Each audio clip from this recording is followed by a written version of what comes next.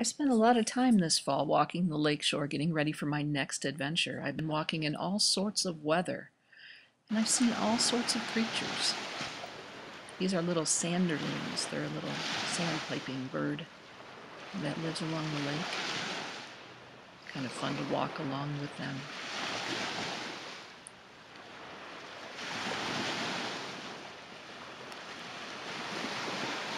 They're found all over the Great Lakes and on the ocean.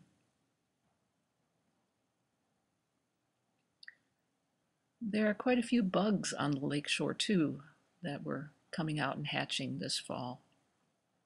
These ladybugs and this strange green beetle, green spotted beetle, came out en masse in October. Also in October, as I was walking, I saw these little collection of sticks on the shoreline and didn't think too much of it until they started moving. This is the larva of the caddis fly. You can see them moving here.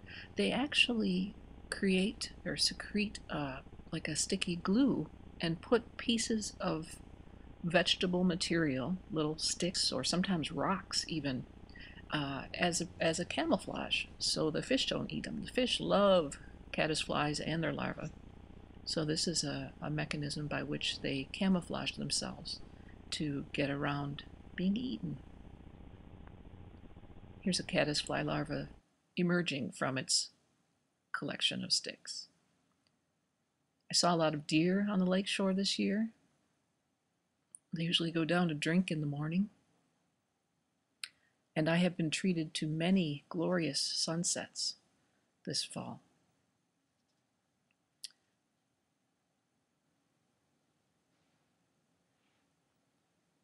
Please check out my fan page and my website, laketrek.com, for more information about me, my author appearances, and my upcoming adventure next year of walking another thousand miles.